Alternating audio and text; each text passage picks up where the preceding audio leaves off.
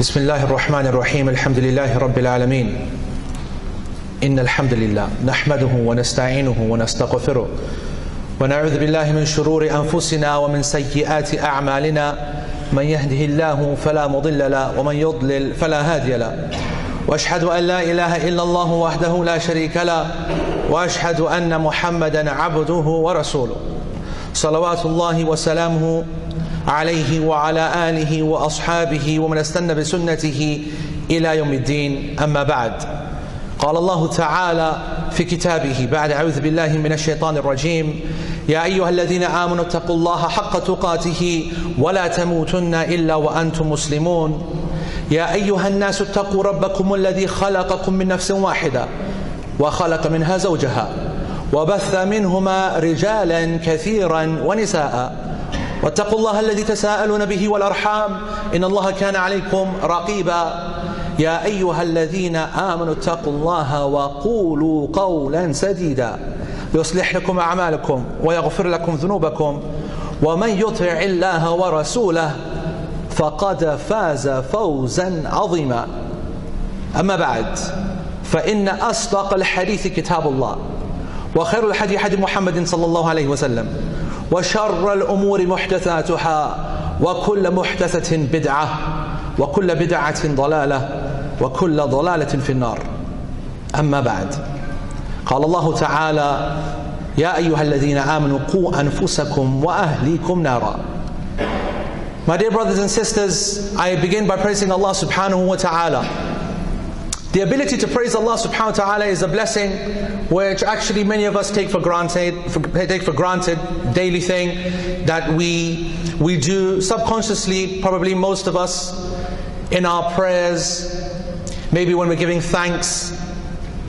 I wonder whether we actually understood the power of praising Allah subhanahu wa ta'ala. I say that because I don't give khutbah very often. And the benefit of doing that is that whenever I do give khutbah, and I say the statements that are so common to all of you that you're sitting here and you hear in Alhamdulillah, Nahmadahu, and you're just hearing it, and it's standard, you hear it every Friday, and I guess the body gets used to it. The mind gets used to it. Just like when you're praying and the Fatiha is recited, and the prayer, which should be an experience and a transformative experience, instead just becomes just a rite of passage. It just happens. It makes me smile when I think that it's the sunnah of the Prophet ﷺ that one, when one finishes from the prayer, is to say astaghfirullah, astaghfirullah, astaghfirullah almost in an ironic kind of indication to just how much we failed in what should have been an opportunity to connect with Allah subhanahu wa ta'ala.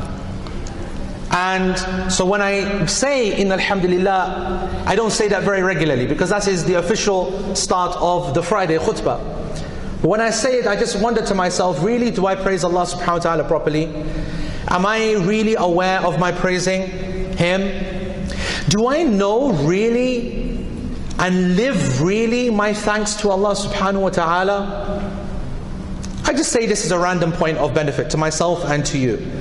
The reason I make this benefit or this point of benefit is so that when you leave this khutbah, one of 52 odd khutbahs that you will hear in, in, in a year, I would appreciate if you actually think about what was just said.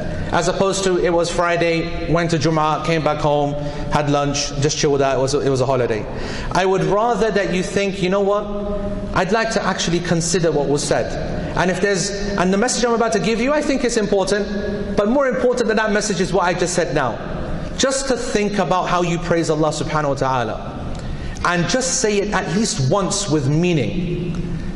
If you say Alhamdulillah once with meaning, I swear to you by Allah, I swear to you by Allah, you will have done something so huge, you will struggle to be able to understand the magnitude of it. You know why? The Prophet ﷺ said in a hadith narrated by Ibn Majah and it is Sahih that my slave did not give back to me when he said Alhamdulillah for something that I have given him, except that what he gave back to me was more than what I gave him. Let me explain that again to you. Allah subhanahu wa ta'ala's blessings are, are, are infinite, millions. They can't be counted. La tuhsa. They are not, you can't enumerate them.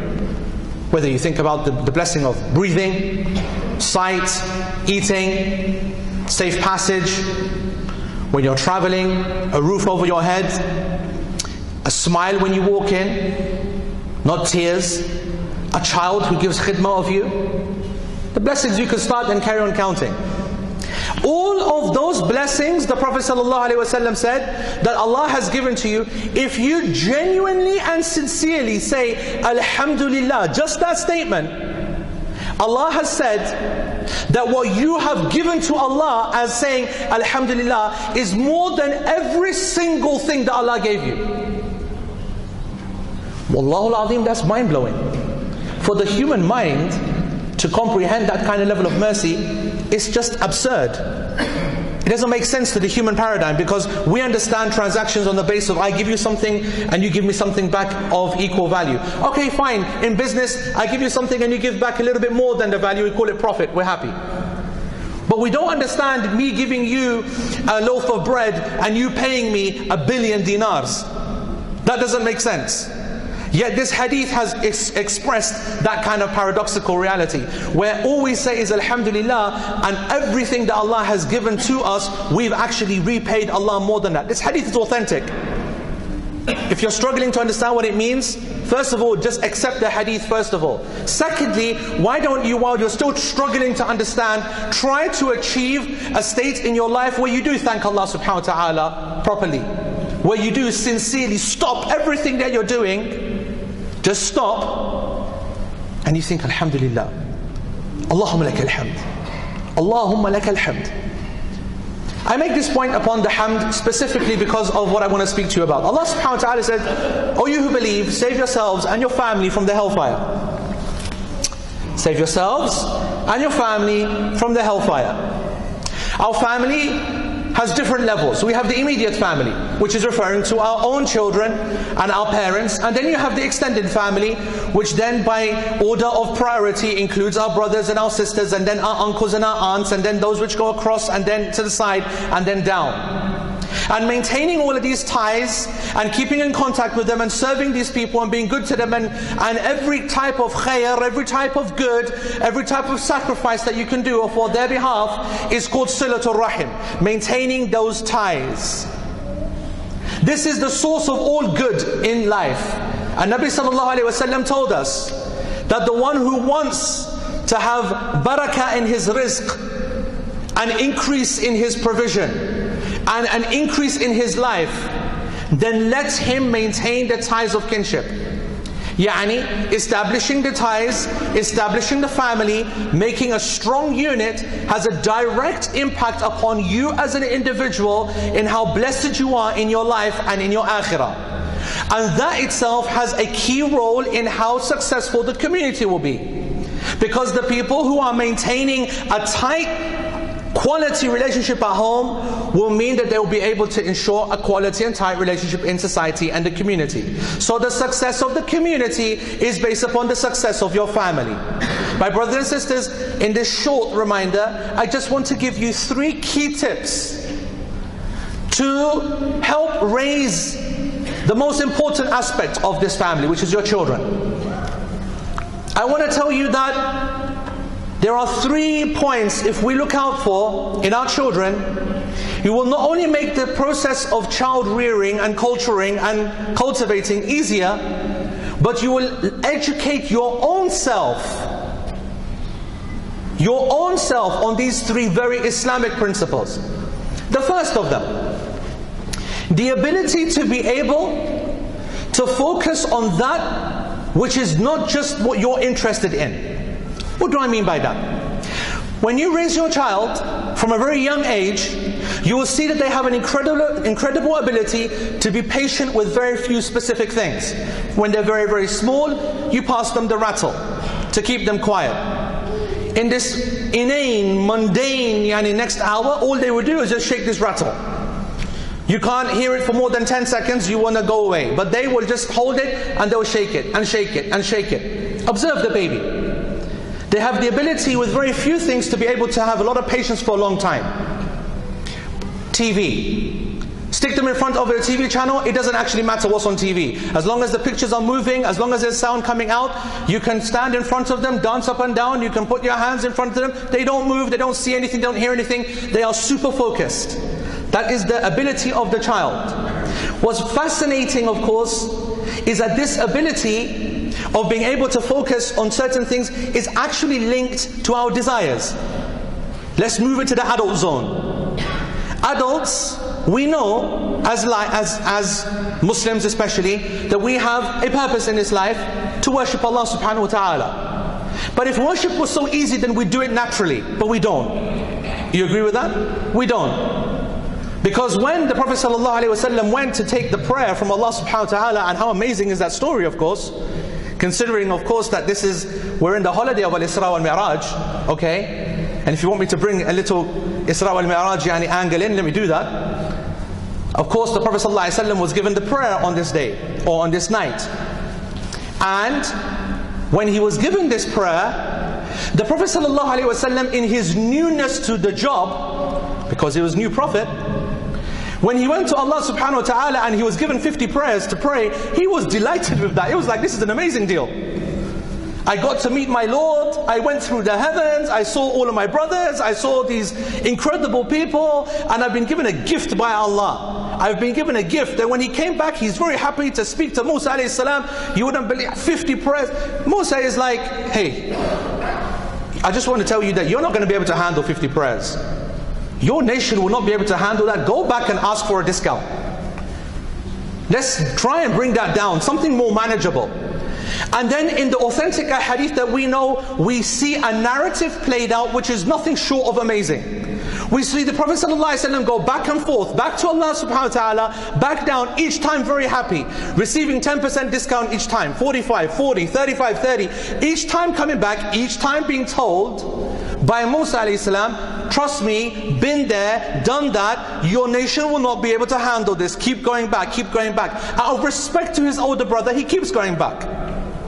And when he then eventually comes to Allah subhanahu wa ta'ala with the, the number on 10, the Prophet ﷺ says, Is it possible for a reduction? Then it is as Allah has said. It is five and it is 50. I give you five prayers every day, five times a day, but its value will be 50.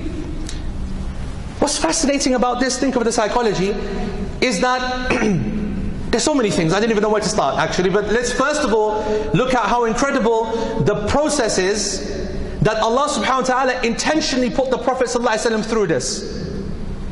You might normally you might normally say this is a game. Allah subhanahu wa ta'ala of course knows that He's going to give a number and that the Prophet is going to come back and He's going to reduce it and He's going to go and then He's going to come back, right? So Allah knew that. So we need to think then, what was the wisdom behind Allah putting the Prophet through that? Well the answer is clear. It's so that the Prophet himself can appreciate the value of the prayer. Because otherwise Allah subhanahu wa ta'ala could have the first time just said there's five prayers. Because that's what he was going to do, right? He was going to give five prayers. He could have just done that, but he didn't. He made the Prophet ﷺ go through the process so that he lives the struggle and feels the value of the prayer. Which is why Allah subhanahu wa ta'ala said it is five, but it is fifty. So now when we come back to earth and the Prophet ﷺ is teaching his companions to pray, it doesn't need the kind of fake rhetoric to try and big up the prayer. He doesn't need to big up the prayer because you know what? He knows the value of the prayer. I've just been to heaven back and forth. I just got it reduced from 50 to 5. I know the value of the prayer. And his companions, they saw that from him. They saw in, in, in the actions of the Prophet ﷺ and in his prayer, in his prayer, they saw this is a man who's connected to his Lord. What's the, the, the, the other benefit from this? That actually our, nat, our natural state, our day-to-day full actions is not to pray. Our body is not made for 24 hours a day prayer, which was what would have had to have happened if we had 50 prayers. If we had 50 prayers a day, we would have had to have then be praying all the time. But it's not. As the Prophet ﷺ said to Abdullah ibn Amr, he said that your body has a right upon you, your family has a right upon you, your wife has a right upon you. Meaning there's meant to be times when you're chilling, when you're enjoying, when you're sleeping, when you're eating, when you're having relations. What's the fascinating lesson from that? Is that therefore this describes a human being as a, as, a, as a being who is struggling with his desires and his priorities. The desires are to sleep, priorities to wake up and pray. The desire is to eat, but the priority is to fast because it's Ramadan. The desire is to stay at home, the priority is to make the journey to Hajj. The desire is to look after the family, the priority is to go out and defend the borders. The, the, the desire is to enjoy time and relax and watch this and do that and enjoy and play. The priority is to learn and to study and to help people and to sacrifice. Life is a constant battle between desires. Things that we want to focus on, things that we should be focusing on. This lesson starts by teaching our children early. When our children are given the rattle and they play with it, what they are exhibiting is their focus on a very small set of desires. When they focus on the TV, the same. But your children will be growing up soon and going to school. Your children will be growing up soon and need you to teach them Quran. And you know what? They don't want to go to school and they don't want to hear the Quran and they don't want to be taught about the deen. Because that's not the things they want to focus on. Which is why when they are young, lesson number one is to start with the non-obvious things. Start with the skill of ensuring your children are able to focus on things that they're not interested in. I repeat, develop in your children the skill to focus on things that they're not interested in because soon, by the time of six and then seven and then ten, other people will have other things that they want the children to focus on. And if they're unable to leave what they desire because you allowed them to enjoy that for so long, it will be all the more difficult to be losing that concentration for that, that focus on that, and moving into something else more beneficial. The second tip that you should practice as a parent, and again, as we just gave the example before, take the benefit as an adult it's a principle of doing to other people like what you want for yourself. As a child, you will see that the basic principle is me. When you give the toy, the, the, the, the, child the toy, they want to play with it, they don't want to share it. Food, toys, games, activities, time at the table, time at the sport, me, me, me. And this carries on. The earlier that you are able to instill in your child the concept of sacrifice, the concept that there are other people that need to be happy just like you need to be happy in order for the community to be happy, is a skill and a characteristic which you must bring into your children early. And of course, this is a religious dini principle as well. To do unto others like you would do unto yourself. To treat others like you want to be treated. Speak to others like you want to be spoken to. This Islamic concept will be born out of you introducing the principle to your children of being able to share with others. You will find some of the most eh, brilliant children, some of the most well-behaved children, they have a problem in sharing with others. They have a problem in, in working with groups. Schools are not just some kind of, you know, something which is just made in, in the corner out of, out of nothing. It's concerning, it, it is based upon educational psychology, years of experience and observing that it's important that children work in groups and share things because this affects their development later. And this is best illustrated in my final point. Number three, the concept of instant gratification versus deferred gratification. What am I talking about?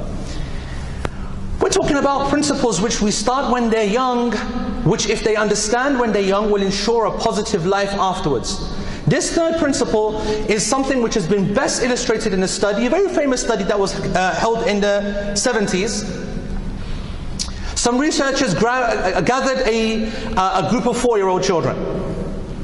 They said to the four-year-old children that we're now going to take you into a room one by one. In this room, there's a table. On the table, a plate, a plate of marshmallows. I beg your pardon, a plate with a single marshmallow. You're going to go into this room. I just want you to hang around here. Just wait. I will be back in about 15, 20 minutes.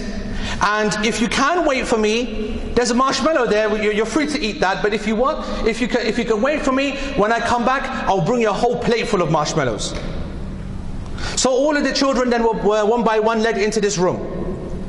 As you can imagine, the majority of the children, they waited, hang around, got bored, look at the, look at the marshmallow, pop the marshmallow, and end the story. The, the researcher comes back, marshmallow's gone, okay, you had your 20 minutes, you had your instant gratification. So you had your little sabr, you took your immediate reward, khalas, see you later. A few of the children, they held out. They looked at the instant gratification, they had the patience, and they were happy with deferred gratification, the one that comes later, the reward which comes later. Gratification meaning reward. The researcher then for those children brought in a full plate, it was Eid, mashallah, they knocked it all out. Had a great time. The researchers went back to the same control group of children 20 years later at the age of 24 to see, according to life measures, quality measures, just how much or not these children have developed in life, in social skills, in business, in education, and so on.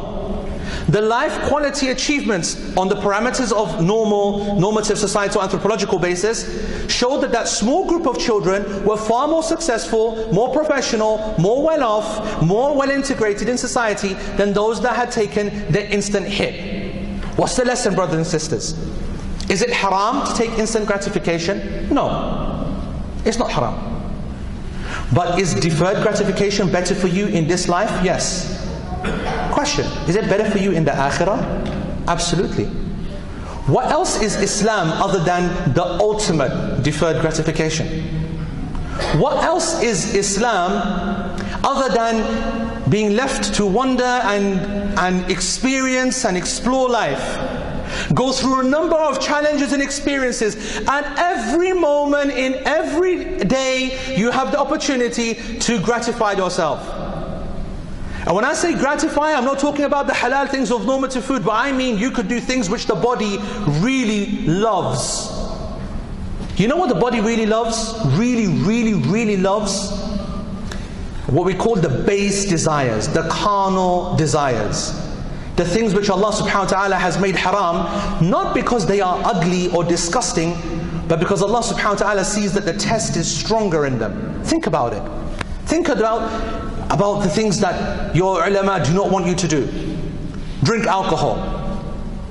You may think alcohol is disgusting and smells bad and has a bad effect. Actually, look at some of the high class drinkers of some of the more expensive types of wine. Very beautiful drink. Some of the Baileys and cream version would rival milkshakes. The experience afterwards of the euphoria. Look at drugs and the amount of uh, relaxation that they would bring to the mind. Think about zina, the most powerful emotion that um, uh, any man, any man will ever go through, the sexual desire. The one which the Prophet ﷺ has specifically said that I have not left behind me a greater trial. Why would it be a greater trial? Because it's the one that the body desires most. I have not left a greater trial upon my ummah than the ummah of women, meaning their beauty, meaning an illegal relationship. All of these have been music, for example. Who's brave enough to say that I hate music because it sounds rubbish? Who says that? Who says music is. Who, who, actually thinks that music doesn't really sound nice? Remember, it might be some dodgy rock stuff, yani, somewhere, yeah. But some of our own culture, some of the nice stuff that we know, why is it that we've been pushed away from all of these things?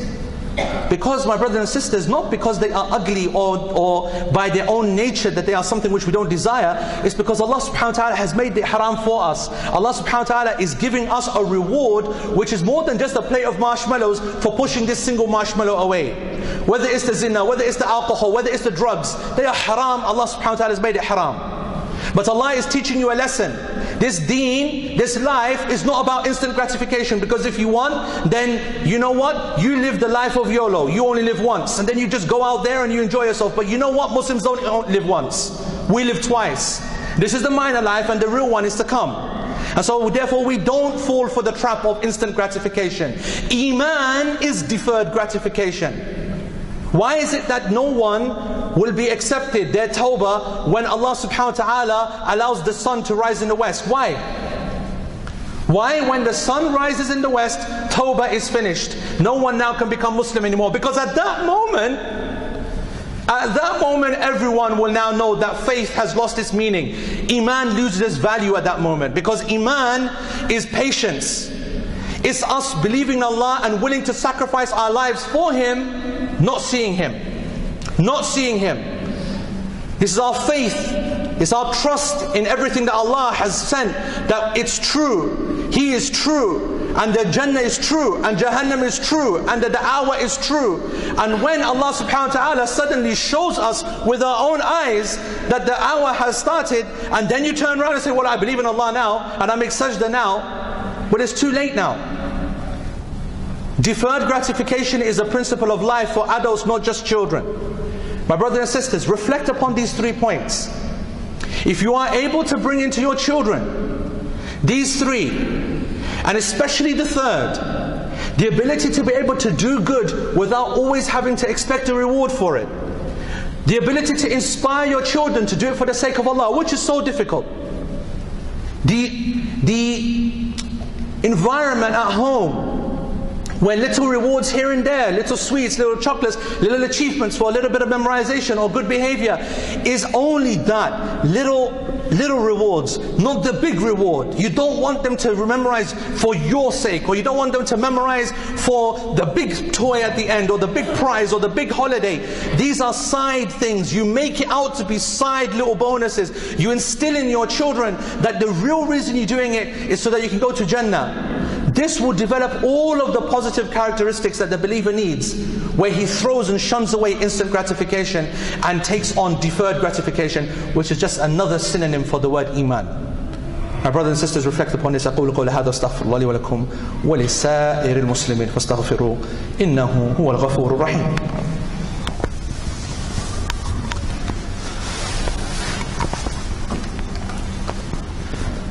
بسم الله والحمد لله ولا نعبد إلا إياه والصلاة والسلام على رسول الله وعلى آله وصحبه ومن والاه My dear brothers and sisters,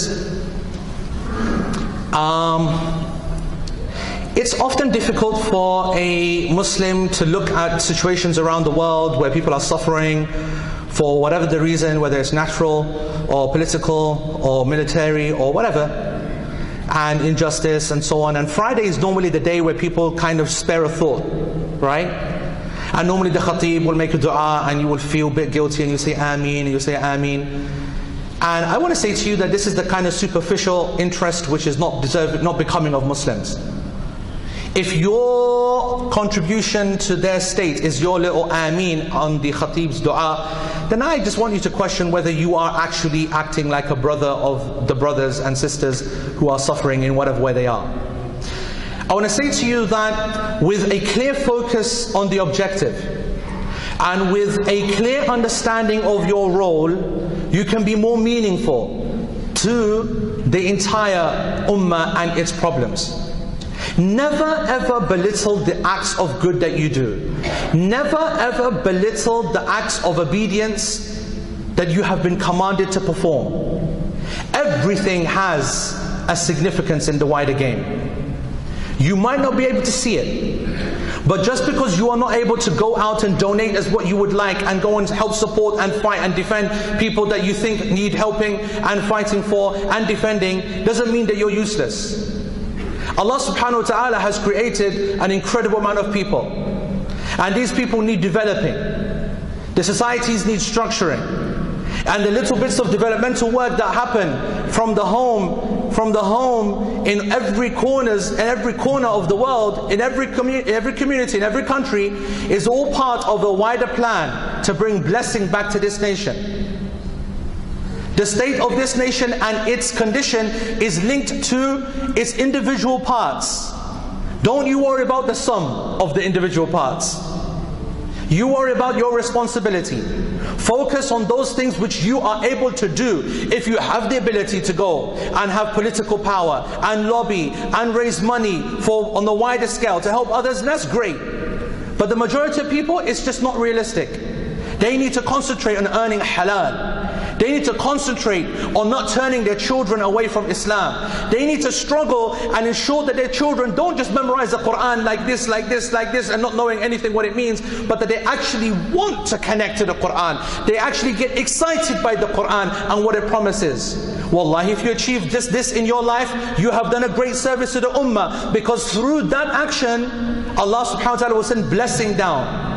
And it's only through His blessing that we are going to recover from the state that we are in. If you somehow think that 50 years of all of us all preparing is suddenly going to make us a, a nuclear international world power where we have the world's biggest armies and the biggest power, it's never going to happen. I can tell you right now, the words of Sayyidina Umar are timeless. You will not beat them with your military power at all. The only way that you will beat them is with less sins, with closer taqwa, Allah subhanahu wa ta'ala, if He wants this to operate in a military way, if He wanted us to win, He would turn up the, the ground like this and He would bring it down. Khalas, it will be all over. It's clearly not about that. Think, reflect upon the reality of your life. Think and see just how it could end so quickly, but Allah doesn't end it. Which proves that this is about you and your responsibility in your own areas. We ask Allah subhanahu wa ta'ala to give us the tawfiq to worship Him in the best possible way. We ask Allah subhanahu wa ta'ala to give us the tawfiq to raise our families in a way which is pleasing to Him and according to the sunnah of the Messenger sallallahu alayhi wasallam. We ask Allah subhanahu wa ta'ala to bring ease to our brothers and sisters who are suffering around the world, in the west and in the east and in every part where your name is mentioned.